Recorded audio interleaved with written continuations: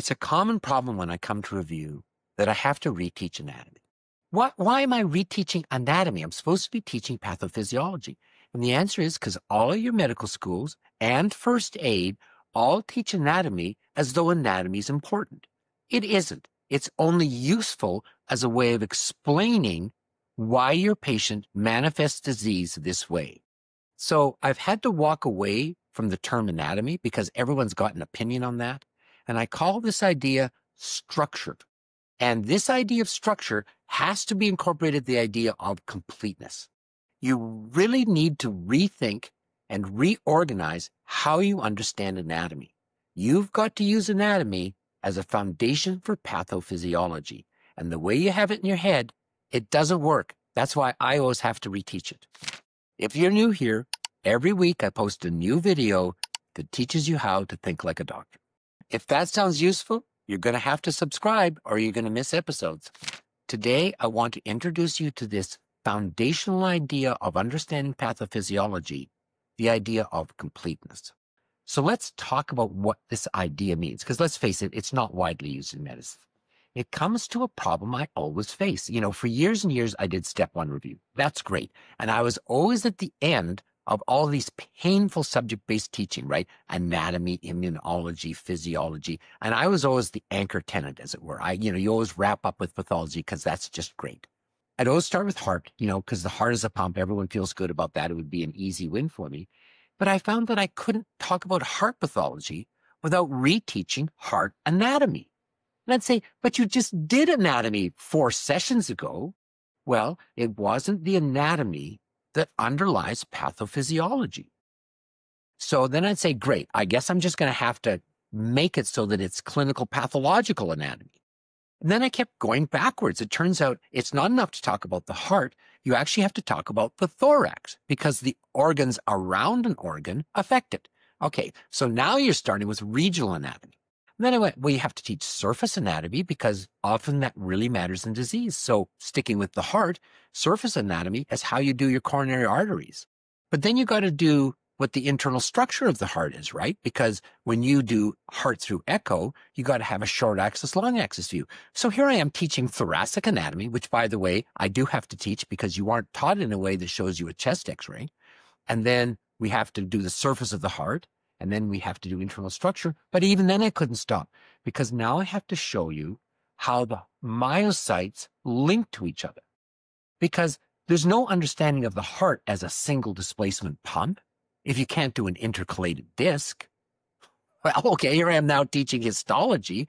That's not enough because now I have to teach the sarcomere.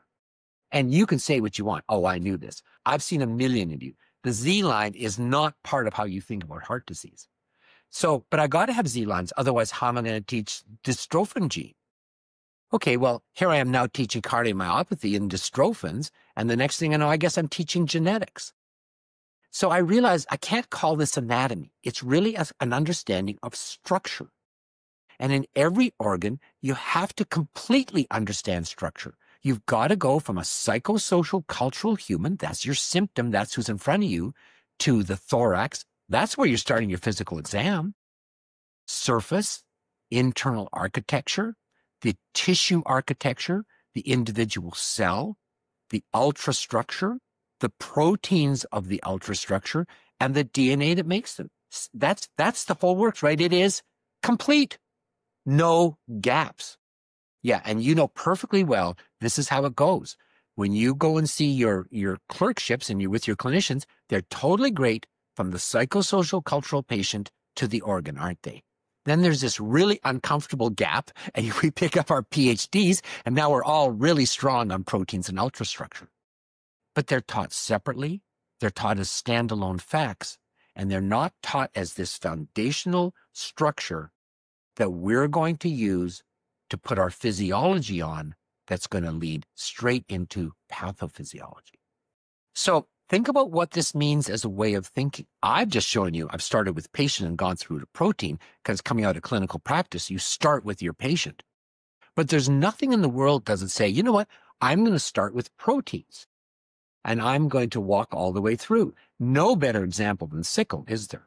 I'm going to start with a single nucleotide polymorphism, GAG substitutes to GTT. That's going to be a single amino acid, isn't it? And all of you can tell me. I mean, if I ask this as a fact, all of you've got it right. It's the sixth position of the beta globulin where I have a Glu Val substitution. But here's a good example where completeness fails. Good. So what? And all of you go, a lot of throat clearing. And then there's some words like the word sickle. And I go, no, that's not right. You've got to say that a Glu Val takes a polar to a non-polar position so that in a low condition of oxygen, it, here's the magic word, polymerizes. And if you haven't got that word, you're not thinking through completeness and structure function. Does that get you off the hook? Oh, good. They've polymerized and you can see it as a sickle cell. Are you done? Of course you're not done because you've got to say, what is the pathology of sickle cell? It's not forming the sickle. That's not a problem. The problem is that deformation upregulates proteins on the red cell membrane. And now they are sticky. And all these sticky little red blood cells stick to the vessel walls. And now we come to the single word that defines sickle cell microvascular occlusion. Yeah, you didn't have that, did you? You didn't have polymerized and you didn't have microvascular because you're missing that middle bit of structural function. All those little vessels, right? That's the disease. And now we can walk that out to all of our symptoms. I'm just going to point out how important structure function is because sickle's such a great example. Why do we see sickling as bone pain and loss of spleen? Why is that? Because if you can't do that, it's because you don't have architecture. What happens when I widen a venous channel? Slows. And when I slow flow, I get more oxygen extraction. And what causes polymerization? Deoxygenated blood. So if you can name all of the organs that have sinusoids, sinusoid being a dilated venous structure, you can tell me all the organs that will have spontaneous sickling problems, can't you? Well, there are three. Yep, that's right. Bone, spleen, and liver. So that seems to really work well, right? That's why it's spleen and bone. They have they have a sinusoidal structure and inherently deoxygenated blood. So why not liver? Well, is your anatomy any good? What's different about liver? I'll give you a hint. It's the same as lung. Oh, yeah, that's right. It has a dual blood supply. So you can go into the sinusoids of liver and get deoxygenated blood, but remember, there's a hepatic artery. So it's very hard to give the liver ischemia. And so we don't see the liver involved in sickle. And then you can follow that bone pain and the encapsulated bacteria infections all the way out to your little sick African American kid in the ER. So that's a really good example of you can start from the outside and go in. You can start from the inside, go out. And I can drop in anywhere in the middle because testing teaches pathophys. So if you say to me, how do I look for polymerization? You're going to sort of smile when I say, well, you get a peripheral blood smear and look for polymerized red cells, you know, the ones we call sickle cells. You can say, how do I know when they've completely autoinfarcted the spleen? What would be a test for that? You'd say, well, I could do ultrasound and show that I can't find it. And the answer is, yeah, that works great. What if you were in a hospital lab and didn't have your ultrasound? Could you do it off the peripheral smear? The answer is, sure you could, because the spleen filters the blood. And there's all these little nuclear remnants that are left in the red cell that we don't ever think about because they're all plucked out in the spleen. But by the time you've autosplenectomized in early adolescence, the spleen's not functioning. And you can see those little residual DNA bits, and they're called Howell-Jolly bodies. So if you need to know, is my vaccination preeminent now for this child? The answer is, well, if you've got Howell-Jolly bodies, they are functionally asplenic. So having this idea of structure and function and testing teaches pathophys is really foundational in medicine. And I really can't teach you heart disease if you can't do a short axis and long axis view of the heart's internal structure. So when you come and you take a look at the book, guess how every organ system has as one of its earliest chapters? That's right. It starts with structure function. And in it, it's not anatomy from first aid. This is how to think about these organs and what's going to be critically important in understanding that organ's pathology. So for some organs, it'll totally be gross. In some organs, it'll be molecular. But in many, and this is the great weakness we have in our teaching of you, many it's going to be at the cellular ultrastructural level. Not that you can recognize it on an H&E slide. It's that you have a way of thinking about cell and its architecture. So when I say early cirrhosis, do you have a plate of hepatocytes and a gap and a sinusoidal architecture of capillary? So you've got those cells in the space of Disse? Do you have that? Because if you don't, you're just memorizing a bunch of words instead of truly having a structure function underpinning your pathophysiology. Once you start understanding the importance of structure and this idea of completeness, there's actually some surprisingly nice pictures you can do that really help you. So we've talked about how we have to do regional anatomy. So the when you do heart disease, there are two images you have to have of the thorax. So I don't care however you learned it, whether you were dissecting cadavers or learning it from cartoons on videos, you have to have two mental images that every doctor has when she's thinking about the thorax. The first is, do you have a PA view of a chest x-ray? You know, you should be able to just start at the top and go, oh, here we are, superior mediastinum. This is the arch of the aorta. Here's my left ventricle. Here's my right heart border. Here are my lung fields going down to my costophrenic angles. Because lots of diseases are going to be superimposed on that. When we do congestive heart failure, and that's how we think about the anatomy of the thorax, Tell me about how we're going to use that anatomy and that way of organizing anatomy clinically in congestive heart failure. Well, you're going to say, well, I can see a number of things. First is, how can I see adaptation? Well, adaptation in the heart is hypertrophy, isn't it? So here's my chest x-ray. How do we see hypertrophy? Well, I mean, it sounds dumb to say, but it's a big heart. I mean, it's just cardiomegaly, right? If that heart silhouette is more than 50% the thoracic diameter, that's not a fact to remember. Testing teaches pathophys. That proves to you you've had adaptation. When I say to you, your patient is short of breath because they've got pulmonary edema, can you see it?